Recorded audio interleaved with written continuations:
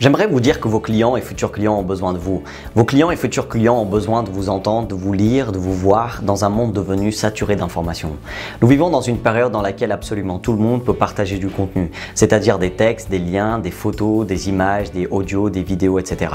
En partageant du contenu, tout le monde peut influencer une décision d'achat.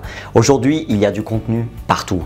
À chaque fois qu'on allume ou on consulte un de nos appareils, ordinateur, smartphone, tablette, etc., nous consommons du contenu.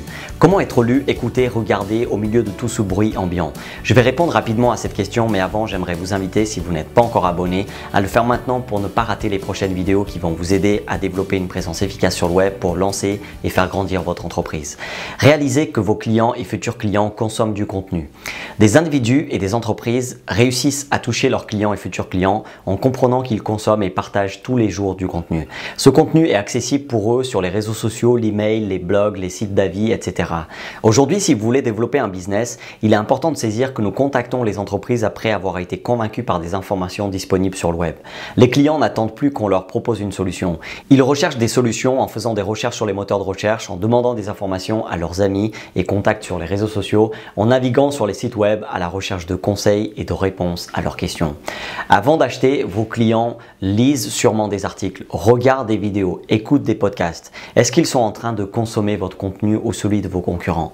Réalisez que vous développez une relation durable avec vos clients et futurs clients grâce au contenu que vous produisez.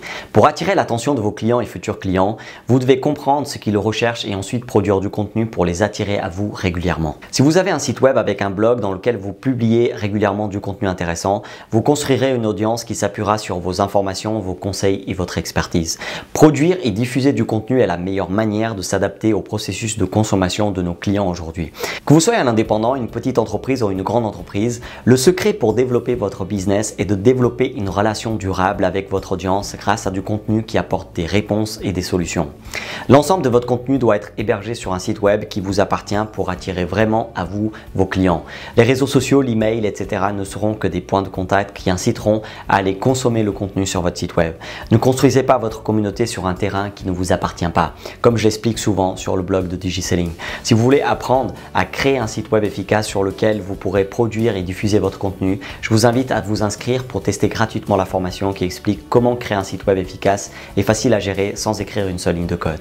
Partagez cette vidéo pour encourager des indépendants, des petites et moyennes entreprises à produire du contenu pour développer leur business et abonnez-vous si vous n'êtes pas encore abonné pour recevoir d'autres conseils pour construire une présence efficace sur le web. Répondez en commentaire. Quels sont vos défis pour produire du contenu régulièrement?